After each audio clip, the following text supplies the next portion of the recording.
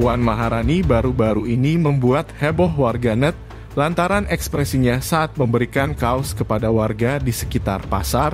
Tampak Puan Maharani mengenakan baju berwarna hitam dan dibantu oleh para pengawal dan ASN lain untuk membagikan baju. Baju tersebut rupanya Puan Maharani membagikan kaos dan juga berbincang-bincang kepada warga Bekasi. Namun, tak disangka lantaran dirinya dikerubungi oleh banyaknya warga Puan Maharani, tampak sedikit melempar baju tersebut ke arah para warga yang sudah mendekat ke arahnya. Tak hanya itu, Puan Maharani pun tampak memberikan arahan kepada pengawalnya terkait kaos yang ingin dirinya bagikan tersebut. Namun, banyak warganet yang salfok dengan ekspresi dari Puan Maharani tersebut.